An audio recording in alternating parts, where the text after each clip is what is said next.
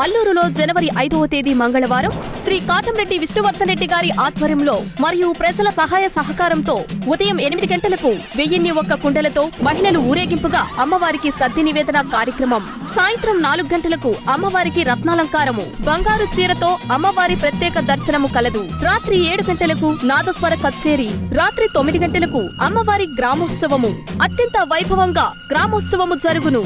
ఇట్లు శ్రీ పోలేరమ్మ గ్రామ ఉత్సవ కమిటీ అల్లూరు ఊరు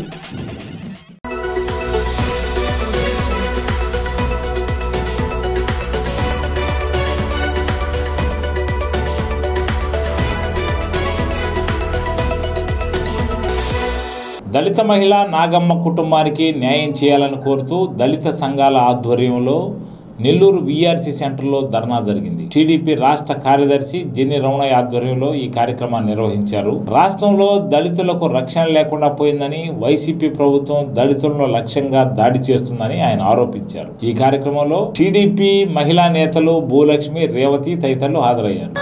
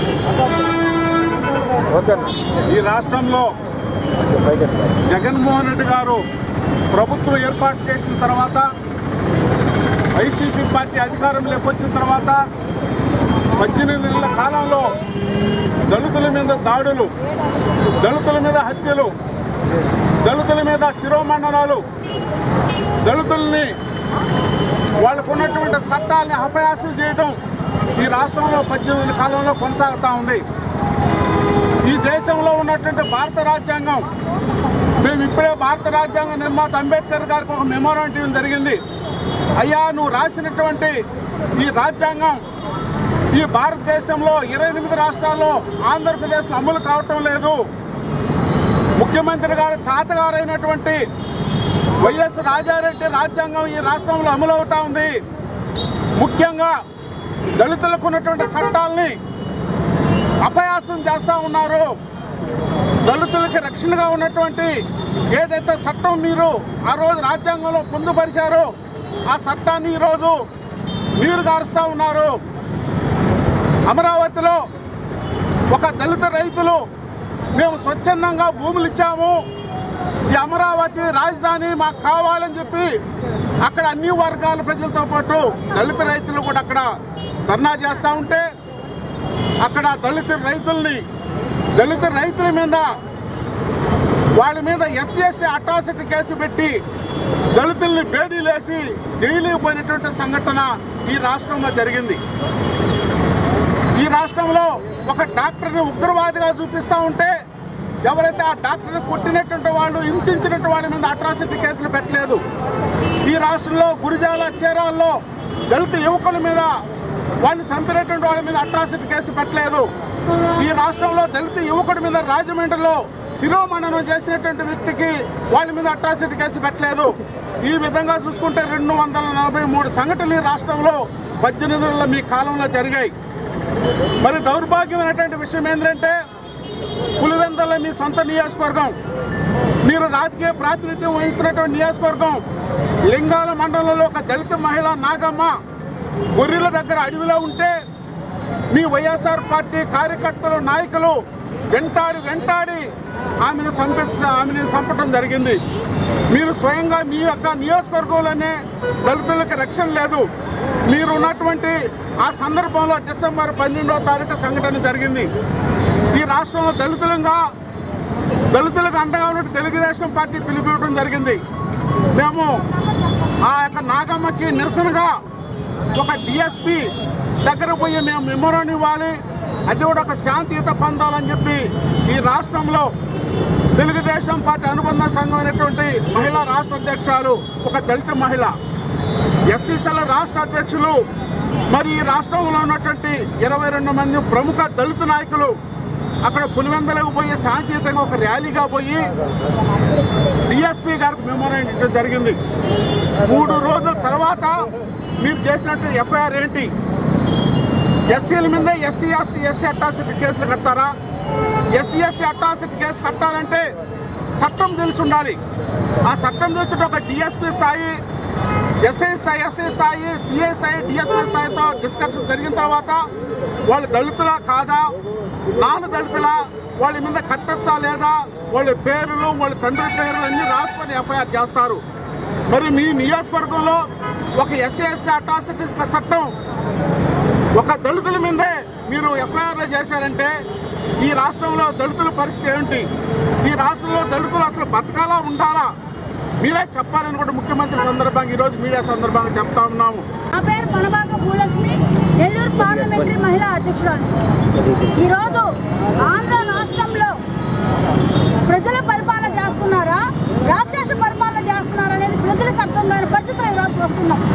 ఈరోజు వైఎస్ఆర్ పార్టీ ప్రభుత్వం అధికారంలోకి వచ్చిన తర్వాత మహిళలకి రక్షణ లేదు బడుగు బలహీన వర్గాలకి రక్షణ లేకుండా పరిస్థితి ఈరోజు చూస్తున్నాం అంతేకాకుండా మరి ఈ మధ్య పులివెందల్లో ముఖ్యమంత్రి గారు స్వయాన తన నియోజకవర్గంలో ఒక నాగమ్మ దళిత మహిళ పైన దారుణంగా హత్య చేసి ఆమెని మానభంగం చేసి హత్య చేసినటువంటి పరిస్థితి మనం చూసాం కానీ ముఖ్యమంత్రి గారు అధికారంలోకి రాకమునుపు ఇంటింటికి పోయి అందరికీ పలకరించినటువంటి ముఖ్యమంత్రి గారు వెళ్ళి తన నియోజకవర్గంలో జరిగినటువంటి వెళ్ళి పరామర్శించినటువంటి పరిస్థితి కూడా లేదు కానీ తెలుగుదేశం పార్టీ తరఫున ఎల్లు రాష్ట్ర మహిళా అధ్యక్షురాలు అనిత గారు మరియు ఇరవై ఒక్క మంది అందరూ కూడా నాయకులందరూ కూడా వెళ్ళి పరామర్శించి అలాగే రాష్ట్ర దళిత అధ్యక్షుడైనటువంటి ఎంఎస్ రాజు గారు అందరూ కూడా వెళ్ళి పరామర్శిస్తే వాళ్ళందరి పైన కేసులు నమోదు చేస్తారా ఈరోజు వైఎస్ఆర్ పార్టీ ప్రభుత్వానికి ఆ- ఆస్థాన సంస్కారం ఉందని మేము అడుగుతున్నాం ఈరోజు ఎస్సీ ఎస్టీ వాళ్ళకి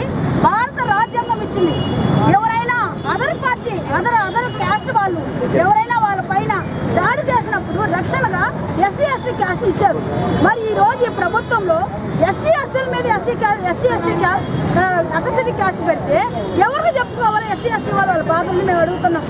అంతేకాకుండా ఈ రోజు హోంశాఖ మంత్రి సుచరిత గారు ఒక దళిత నాయకురాలు అయింది. మా దళితులందరికీ కూడా రక్షణ కల్పిస్తుంది అనుకున్నాం మరి మేము అనుకున్నది అనుకున్నట్టుగా జరగడం లేదు ఈరోజు దళితుల పైన మహిళల పైన దాడులు జరుగుతున్న అత్యాచారాలు జరుగుతున్న నోరిప్పదు అంతేకాకుండా అట్రసిటీ కేసులు ఎస్సీ అట్రసిటీ కేసులు ఎస్సీల మీద పెడుతున్నా కూడా ఆ లోన్ ఇప్పుడు లేదు. మేము ఒకటి అడుగుతున్నాం మీరు ఎస్సీలకు న్యాయం చేయలేనప్పుడు మీకు ఎందుకు మా పదవులు? మీరు పదవులు తీసుకొని మోసం చేయడం తప్ప మీరు ఇంకంత మించి చేయగలిగి లేదని మేము అడుగుతున్నాం. అంతేకాకుండా ముఖ్యమంత్రి గారు చెప్పారు జాతి చూడం మతం చూడం కులం చూడం అని చెప్పారు. మరి ఈ రోజు ముఖ్యమంత్రి అయిన తర్వాత మీరు ఎందుకు కులాలు చిచ్చు పెడుతున్నారు మేము అడుగుతున్నాం. ఈ రోజు మడుగు బలహీన వర్గాల పైన ఎందుకు దాడులు కల్పిస్తున్నారు మేము అడుగుతున్నాం ఈ రోజు దళితుల పైన శిరోమండాలు చేశారు మాస్క్ అడిగినందుకు శ్రీనివాసులు అతన్ని హత్య చేశారు కొట్టి చంపారు మాస్క్ ఇవ్వలేదని చెప్పారు మాస్క్ పెట్టుకోలేదని చంపారు. మాస్క్ అడగలేదు ఇచ్చినారనుకో డాక్టర్ సుధాకర్ గారిని కూర్చోని చేసి రోడ్డు మీద చేశారు. ఈ రోజు కొడాల నాని గారు స్వయంగా దొరికిపోయారు వాళ్ళ అనుచరులు. ప్యాకాట్ ఆడుతూ ఎస్ వాళ్ళందరూ మా అనుచరులే. ఏం చేస్తారు? ఉరిశిక్ష చేస్తారా కాదు కదా పెనాల్టీ వేస్తారు. ఏ- కడతారు.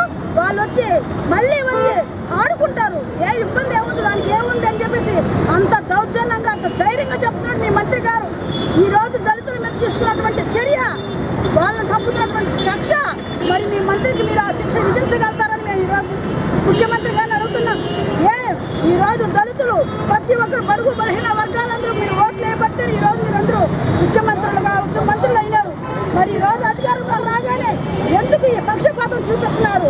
ఈ విధంగా చేస్తే మీకు తగు విధంగా జాగ్రత్తగా మీకు కఠినంగా శిక్ష ఇస్తారని కూడా తెలియపరుస్తున్నాం నేను నెల్లూరు నగర మహిళా అధ్యక్షురాలని ఈ వైసీపీ ప్రభుత్వంలో ఎలా ఉందంటే దొంగ దొంగ దొంగ అన్నట్టుంది అత్యాచారాలు అవి మీరు మీకు తగిన వాళ్ళే చేపించి మా మీద అడిగిన మా మీద రివర్స్గా ఎస్సీ కేసులు నమోదు చేస్తారు.